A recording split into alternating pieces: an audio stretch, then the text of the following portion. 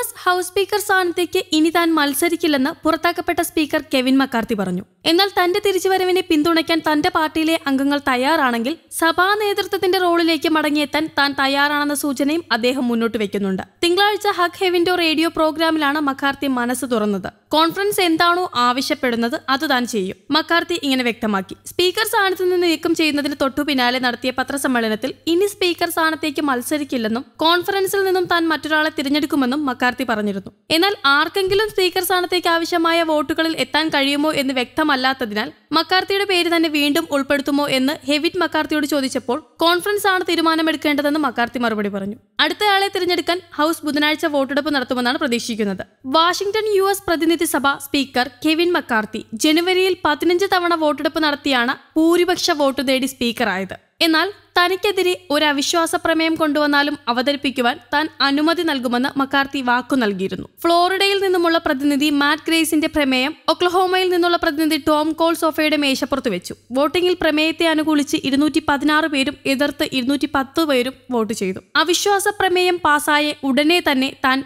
രാജിവെക്കുകയാണെന്ന് McCarthy പറഞ്ഞിരുന്നു. Federal കടം മുപ്പത്തിയൊന്ന് ട്രില്യൺ ഡോളർ ആയതിനേക്കാൾ വലുതാണ് സ്പീക്കർ ഒഴിയേണ്ടി വന്നതിൽ ഉണ്ടായ നാണക്കേടെന്ന് ചില അംഗങ്ങളും പറഞ്ഞിരുന്നു. ഒരു ഫെഡറൽ ഷട്ട് ഡൌൺ ഒഴിവാക്കാനായി നവംബർ പതിനേഴ് വരെ ഫെഡറൽ ഫണ്ടിംഗ് തുടരുവാൻ സഭ നിയമം പാസാക്കിയത് വഴിയാണ് ഒക്ടോബർ ഒന്ന് മുതൽ ആരംഭിക്കേണ്ടിയിരുന്ന ഷട്ട് ഡൌൺ ഒഴിവായതും. ഫെഡറൽ ഡിസാസ്റ്റർ റിലീഫിന് പതിനാറ് ബില്യൺ ഡോളർ കൂടി അധികമായി നൽകണമെന്ന പ്രസിഡന്റ് ജോ ബൈഡന്റെ അഭ്യർത്ഥന അംഗീകരിച്ചതും റിപ്പബ്ലിക്കൻ അംഗങ്ങൾ എതിർത്തുമിരുന്നു. യുക്രൈൻ കൂടുതൽ ധനസഹായം ബജറ്റിൽ ഉൾപ്പെടുത്തണമെന്ന പ്രസിഡന്റിന്റെ അഭ്യർത്ഥന നിരസിച്ചത് ഡെമോക്രാറ്റുകളെ രോഷാകുലരുമാക്കിയിരുന്നു. രണ്ട് പ്രശ്നങ്ങളിൽ വ്യത്യസ്ത രൂപങ്ങളിൽ നിലപാടുറപ്പിച്ച റിപ്പബ്ലിക്കൻ ഡെമോക്രാറ്റ് അംഗങ്ങളെ പിന്തിരിപ്പിക്കാൻ സ്പീക്കർ നടത്തിയ ശ്രമങ്ങൾ പരാജയപ്പെട്ടിരുന്നു. രണ്ട് പാർട്ടികളിലെയും അംഗങ്ങൾ ക്ഷുഭിതരായിരുന്നു. ബൈഡന്റെ അഭ്യർത്ഥനയ്ക്ക് വഴങ്ങിയ സ്പീക്കർക്കെതിരെ അവിശ്വാസ പ്രമേയം അവതരിപ്പിക്കുമെന്ന് ഗ്രേസ് പറഞ്ഞതു പാലിക്കുകയും ചെയ്തു. അതനുസരിച്ചാണ് പ്രമേയം സഭയിൽ നടന്നത്. രാജിവെച്ചാൽ താൻ നൽകുന്ന പത്ത് പേരുടെ ലിസ്റ്റിൽ ഒരാളെ തിരഞ്ഞെടുക്കാമെന്ന് അറിയിച്ച് സ്പീക്കറുടെ ഓഫീസിന് കത്ത് നൽകിയിട്ടുണ്ടെന്ന് മക്കാർത്തി വ്യക്തമാക്കിയിരുന്നു. സ്പീക്കറെ തിരഞ്ഞെടുക്കാൻ സമയപരിധി ഭരണഘടന അനുശാസിക്കുന്നില്ല എപ്പോൾ വേണമെങ്കിലും സഭ കൂടി ഒഴിവ് നികത്താവുന്നതാണ്. പല പ്രതിസന്ധികൾക്കും പരിഹാരം കണ്ടെത്തിയിട്ടുള്ള മക്കാർത്തി റിപ്പബ്ലിക്കൻ ഡെമോക്രാറ്റ് അംഗങ്ങൾക്കിടയിൽ ഒത്തുതീർപ്പുണ്ടാക്കാൻ നടത്തിയ ശ്രമങ്ങളെല്ലാം പരാജയപ്പെട്ടിരുന്നു.